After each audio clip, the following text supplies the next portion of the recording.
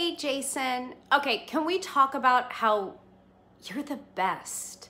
You are such a great fan. I read every tweet you send me. I remember meeting you in person and taking selfies together. I love you. I love you for being such an amazing, kind, sweethearted man. I love your poetry. I love your support. Thank you so much.